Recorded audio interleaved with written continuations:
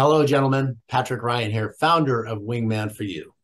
We help men find the woman of their dreams by teaching them how to approach women with confidence. Now, gentlemen, this episode specifically about not settling. Here's what I mean. Just the other day, I was playing golf with a buddy of mine, Dan, and Dan and I mm, played about once or twice a year. So we hadn't seen each other for some time. And I knew that Dan had split up with a gal about eight months ago. So he's single and he's out looking. So I asked him, Hey, how's your love life? How's the dating scene doing? And he says, Oh, it's pretty good. I said, Are you seeing anybody? He goes, Yeah, I've been seeing this gal for about the last two months. Oh, great. Two months. So things must be going well. He says, Well, yeah, they are for the most part. I'm like, For the most part? What do you mean? He says, Well, you know, she's got this really nice body, and I think she's very cute, and we have some good times together. I'm like, Well, but he says, Well, she seems to always nitpick what I say. Okay, so she nitpicks what you say. Give me an example, Dan. And he says, Well, the other day we were out shopping and she wanted a sweater. And I said, Well, gosh, this one, this one's blue, and this is what you're looking for, right? And she says, No, Dan, that's gray.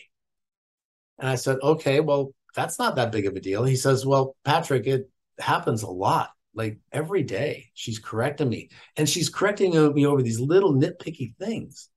Oh, well, have you talked to her about it? Well, no, I really haven't. It's kind of early in the relationship, and I just want to kind of see how things go.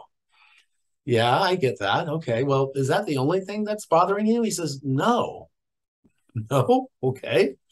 What else could it be? And he says, well, she's not a great listener. Okay. I mean, Dan, I, I know that you've seen and you've talked sometimes about long stories and you're a little long winded, maybe a little bit like me. I said, but what do you mean she's not a good listener? He says, well, I'll be talking about a subject, maybe about something I'd done that day, maybe about my day at work. And she'll just cut me off and start off on this entirely different tangent. Like, wow. Okay. So, Dan, you know, to me, to me, those are the deal breakers you're not a good communicator, especially a good listener, how do you expect to have a good relationship? he says, "Well, Patrick, you know, there's so many things I do like about her. You know, it's it's been lonely these last eight months. I, no, Dan, I, I get the loneliness, absolutely. But what I want what I want to mention to you, Dan, and I tried to shake them a little bit. It's like you don't want to settle.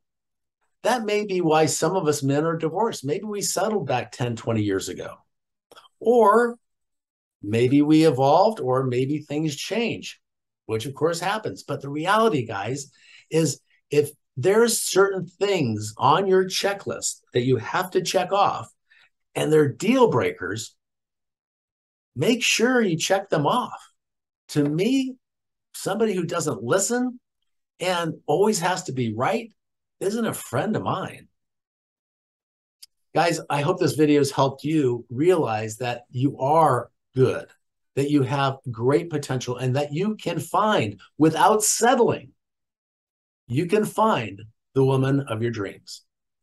Thanks for tuning in. Don't forget to click that subscribe button. There's some great free content on my channel that's got some great ideas on how you can get this much closer to finding the woman of your dreams. Thanks for tuning in. We'll see you next time.